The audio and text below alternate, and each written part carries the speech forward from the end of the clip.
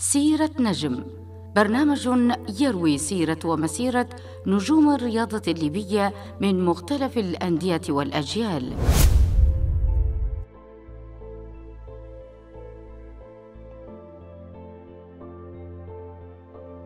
يعد المهاجم الدولي السابق يوسف صدقي أحد أبرز نجوم وهدافي كرة القدم الليبية خلال مواسم السبعينيات وكان قائدا لفريقه النصر بامتياز ونجم الفريق الأول بدون منازع. وصانع أفراحه وانتصاراته. بدأت مسيرته الكروية موسم 1963 1964 ضمن أشبال نادي النصر عن طريق المدرب الوطني الراحل عثمان الوزري وقد ساهم في حصول فريقه على بطولة المنطقة الشرقية أربع مرات لفئة الأشبال.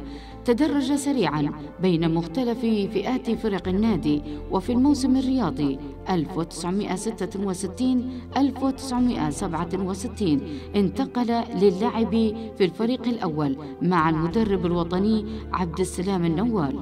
في الموسم الرياضي 70 71 وفي أول دوري للجمهورية قاد فريقه النصر لإحراز الترتيب الثالث وقدم مباريات متميزة وعروضا ونتائج رائعة.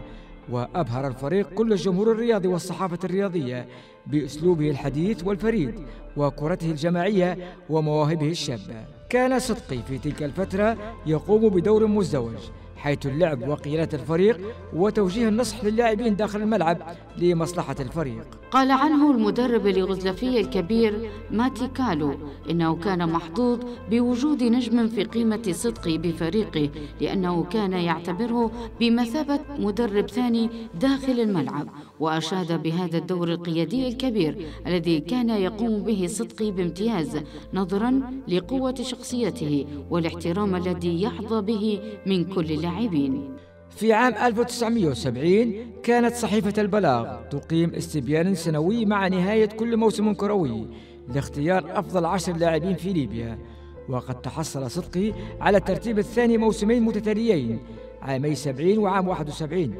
وتحصل على الترتيب الأول وجائزة أفضل لاعب عام 1974 وقد خصته الصحافة الرياضية ومنها صحيفتي الحقيقة والجهاد بألقاب كثيرة مثل المهاجم الأول والأستاذ ومهاجم بنغازي الأول. يعتز النجم الكبير يوسف صدقي كثيرا بأهدافه الحاسمة لكن أبرزها أحرزها هدفين في شباك حارس المرمى العملاق التونسي عتوقة في مباراة ودية جمعت فريق النصر ضد الافريقي التونسي والتي اسفرت عن فوز فريق النصر بفضل ثنائية يوسف صدقي وكان وقتها حارس المرمى الشهير عتوقة حارسا لمرمى المنتخب التونسي. وأفضل حارس مرمى بالقارة الأفريقية.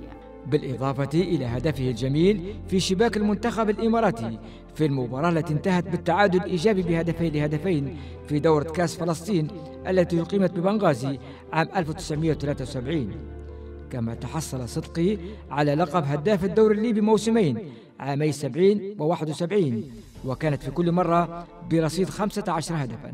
تعرض النجم الكبير يوسف صدقي كثيرا للخشونة والإصابات التي نالت منه للحد من خطورته أهمها في مباراة النصر المهمة مع الأهلي طرابلس عام 1974 حيث تعرض لإصابة خطرة ورغم الإصابة تحامل على نفسه وعاد إلى الملعب من جديد لكنه أصيب للمرة الثانية وهذه المرة تم نقله إلى المستشفى ثم إلى العاصمة البريطانية لندن لتلقي العلاج. وبعد العودة من رحلة العلاج الطويلة التي استمرت 100 يوم كانت نتائج فريق النصر في ذلك الموسم 74 75 غير مرضية مما جعلته يعود سريعا لقيادة الفريق ليساهم في عودة الروح والنتائج الطيبة للفريق الذي ظل وفيا له ولغلالته طوال مسيرته الكروية الناصعة. التي جسد خلالها الوفاء في أبهى صوره ومعانيه. وكان مثالا رائعا يحتذى به وقدوة حسنة لكل اللاعبين ومربيا للأجيال.